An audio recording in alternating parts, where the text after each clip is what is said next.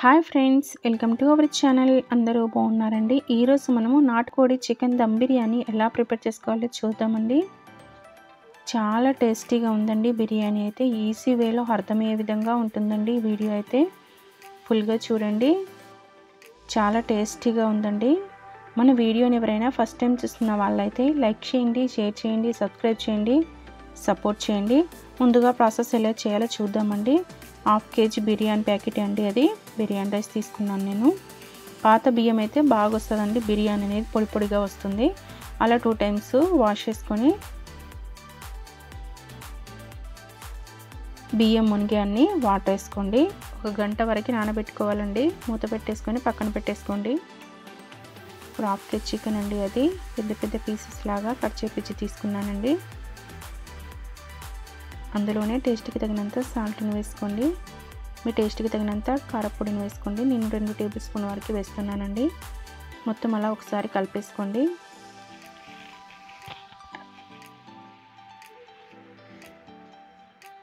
అందులోనే ఒక table spoon వరకు ఆయిల్ని వేసుకోండి. మరొకసారి మొత్తం కలిసే విధంగా కలుపుకోండి. బిర్యానీ చేయడానికి కడపలమే ఇంపార్టెంట్ అండి. ధనియాల పౌడర్ వేసుకోండి. పావు టేబుల్ స్పూన్ అంతా గరం మసాలాను వేసుకోండి. హాఫ్ కప్పు అంతా పెరుగును వేసుకోండి. హాఫ్ కప్పు కొత్తిమీరాకును వేసుకోండి. ఒక నిమ్మకాయ వక్కను వేసుకోండి. పోల్ గరం మసాలాను వేసుకోండి మీరు. చూడండి. మొత్తం అలా ఒకసారి కలిసే విధంగా కలుపుకోండి. బిర్యానీ మసాలా తీసుకున్నానండి నేను. ఒక హాఫ్ టేబుల్ స్పూన్ వరకు వేస్తున్నాను.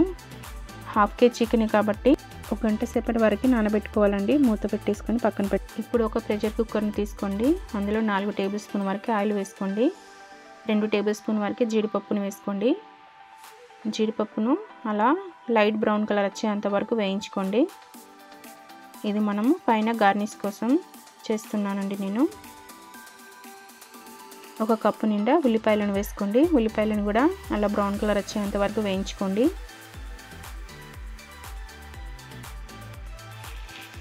అందులోనే మరొక టేబుల్ స్పూన్ వరకు ఆయిల్ని వేసుకోండి. వల్గరం మసాలాను వేసుకోండి. కొంచెం సాజీరను వేసుకోండి.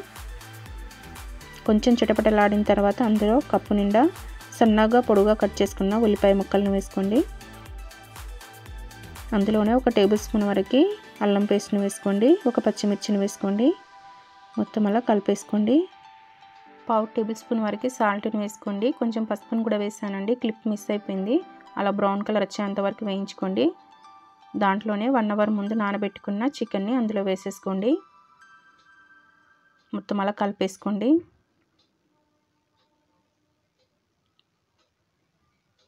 అందులోనే ఒక టీ గ్లాస్ వరకు వాటర్ని వేసుకోండి. నాటుకోడి అనేది ముక్క గట్టిగా ఉంటుంది కాబట్టి ఉడికించుకోవడానికి మనం టీ గ్లాస్ నిండా వాటర్ వేసామండి.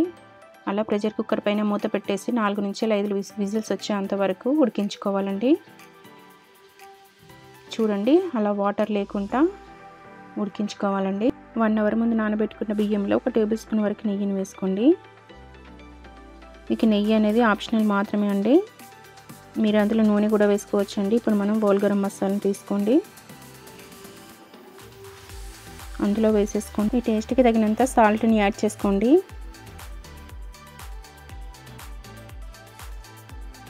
అలా సెవెంటీ పర్సెంట్ మాత్రమే రైస్ని ఉడికించుకోవాలండి.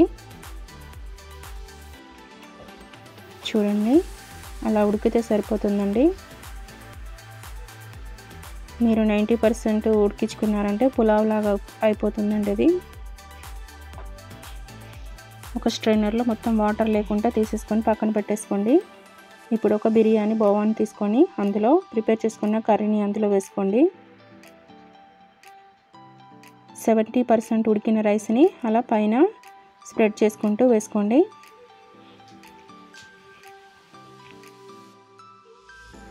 గార్నిష్ కోసం ఫ్రై చేసుకున్న ఆనియన్స్ను జీడిపప్పును అలా స్ప్రెడ్ చేసుకుంటూ వేసుకోండి.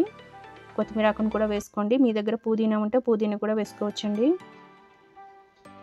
మనం మీ రైస్లో మిగిలిన వాటర్ని గంజి లాంటి వాటర్ని నాలుగైదు టేబుల్ స్పూన్ వరకు అలా వేసి ఇప్పుడు మూత పెట్టేసుకోండి. ఏదైనా బరువుని పెట్టేసుకోండి. లేదంటే ఒక చిన్న బిందెలో నేను వాటర్ పోసి పెట్టేస్తానండి నాలుగైదు లీటర్లు పట్టే బిందె అండి అది. మీరు పిండి పెట్టాల్సిన అవసరం లేదండి. దమ్ పెట్టేటప్పుడు ఇలా పెట్టేసినా సరిపోతుందండి. పది నిమిషాలు పదిహేను నిమిషాల వరకు అలా మూత పెట్టి దమ్ పెట్టేసుకోండి. మూత తీసేసానండి. చూడండి. రైస్ బాగా కుక్ అయిపోయిందండి. చూడండి. పొడి పొడిగా చాలా బాగుందండి బిర్యానీ అయితే. నాటుకోడి కాబట్టి ముక్క అనేది చాలా టేస్టీగా ఉందండి. చాలా ఈజీ ప్రాసెస్ అండి. మీకు కనుక వీడియో నచ్చితే లైక్ చేయండి షేర్ చేయండి సబ్స్క్రైబ్ చేయండి సపోర్ట్ చేయండి. చాలా టేస్టీగా ఉందండి బిర్యానీ. ఈజీగా ప్రిపేర్ చేసుకోవచ్చండి. హైసినిక్గా ఇంట్లోనే ప్రిపేర్ చేసుకోవచ్చండి. Thank you for watching. Bye bye.